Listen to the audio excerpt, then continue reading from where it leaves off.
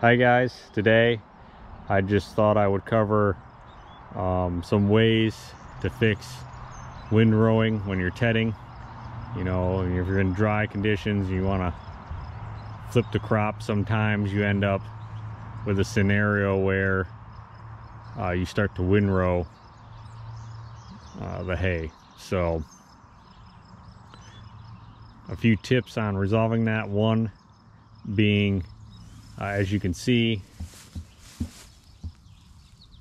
max PTO RPM is 540.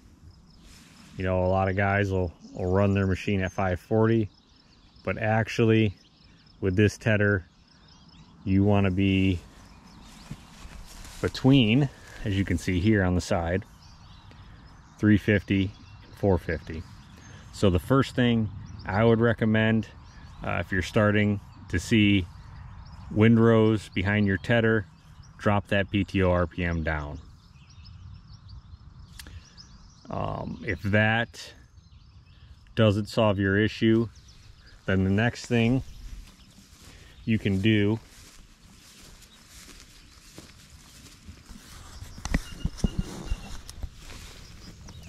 is adjust your height of your tires.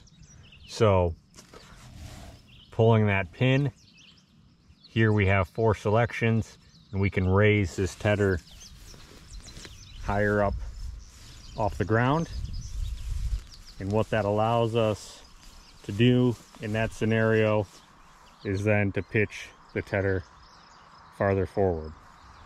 So doing that, we get a greater broadcast angle and hopefully we can spread the crop better so that we don't windrow.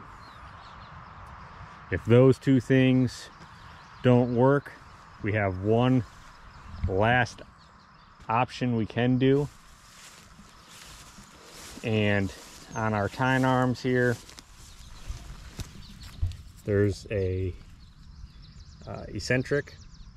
So typically, uh, this would be used for as these tines wear, you know, they'll typically wear back here you typically use this to advance the tines back 90 degrees to the arm.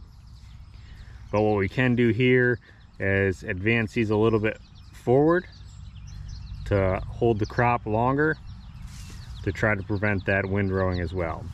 Now again, that's not ideal and this is the last step because we have to you have to do this to all your arms. Typically just dropping that PTO RPM down and maybe increasing your ground speed a little bit will resolve that problem. So I hope you guys found this video useful and can get your issue there resolved. So thanks for watching. Catch you guys on the next one.